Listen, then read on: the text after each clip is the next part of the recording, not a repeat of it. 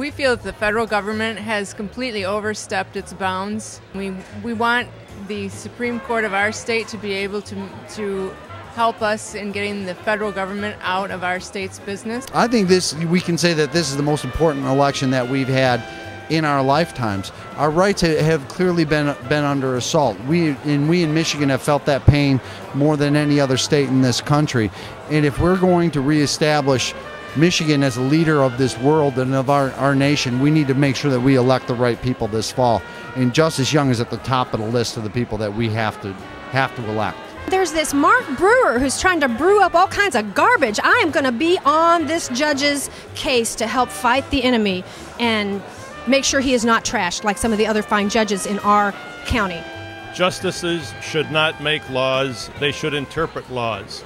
Bob Young knows that, and he holds firm to constitutional principles. That's what we need. The economy is in rotten shape because people don't know what's happening next.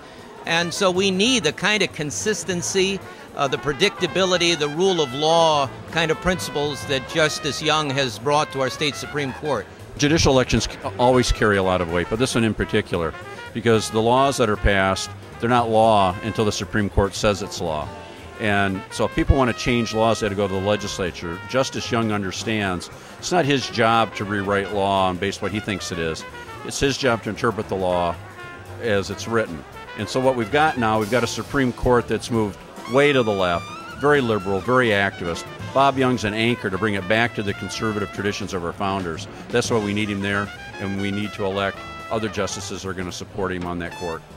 This election is critical because if the House and the Senate pass the law and the governor signs the law, it's the Supreme Court that has to make sure the law stays there.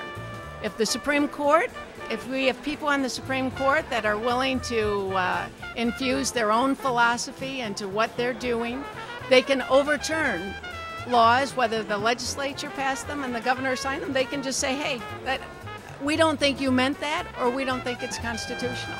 Supreme Court is the last word. It's the most important election this year. I think there's a lot of energy out there.